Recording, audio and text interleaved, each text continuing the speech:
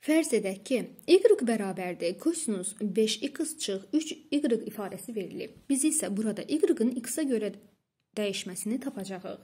Y-ı fx funksiyası kimi düşünəcəyik. Gəlin baxaq. Bərabərliyin hər iki tərəfinə dx-da dy yazaq.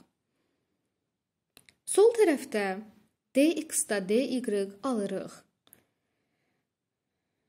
Sağ tərəfi isə zəncir qaydasını tətbiq edək. Kosinus hər hansısa bir ifadənin həmin ifadəyə görə törəməsi mənfi sinus həmin ifadəyə bərabər olacaq. Yəni burada mənfi sinus 5x çıx 3y alırıq. Sonra isə bunu verilmiş ifadənin x-a görə törəməsinə vururuq. Bu ifadənin x-a görə törəməsi nəyə bərabərdir? 5x-in x-a görə törəməsi 5-ə bərabərdir.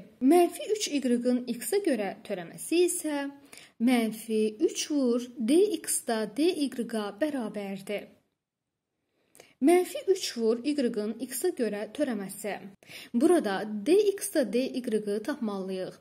Bu törəmənin tapılmasına aid misallarda ən çətin hissədir. Gəlin dx-da dy-ları eyni rəngdə yazaq ki, onları görmək asan olsun.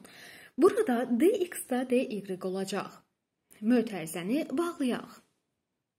Dx-da dy-ı necə tapa bilərik? Bərabərliyi bir qədər sadələşdirək. Sinus 5x çıx 3y paylaya bilərik.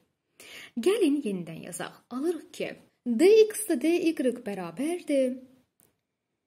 Mənfi sinus 5x çıx 3y paylayaq. Yəni bunu buna, bunu isə buna vuracağıq.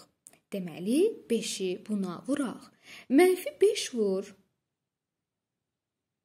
Sinus 5x çıx 3y. Burada isə mənfi vur mənfi müsbət olacaq. Deməli, üstə gəl 3 vur. Sinus 5x çıx 3y dx-da dy.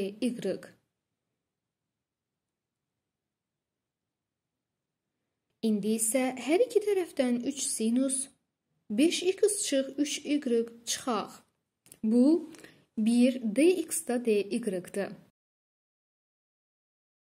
Hər iki tərəfdən bunu çıxsaq, 1 dx-da dy-dan 3 sinus 5x çıx 3y çıxsaq, 1 çıx 3 sinus 5x çıx 3y dx-da dy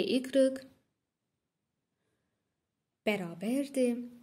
Hər iki tərəfdən bunu çıxdıq və sağ tərəfdə bunlar islah olunacaq və mənfi 5 sinus 5x çıx 3y qalacaq. Sona yaxınlaşırıq.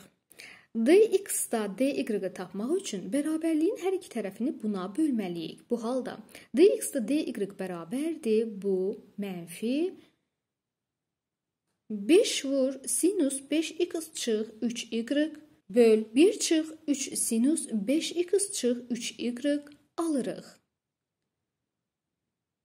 Bu qədər.